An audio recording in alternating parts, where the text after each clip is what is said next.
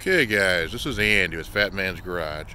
Got a 1985 Mustang GT with a 5.0 and a 5-speed.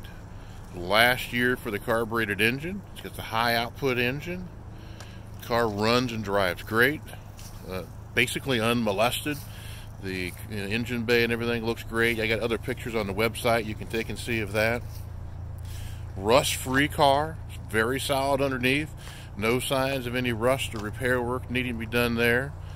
Give you a good opportunity to, to have a good project to work on and not have to be battling all the rust that these things are notorious for.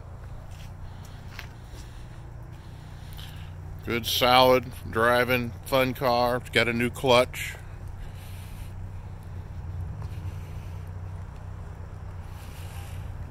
Any questions or interest, uh, hit me up. This is Andy with Fat Man's Garage.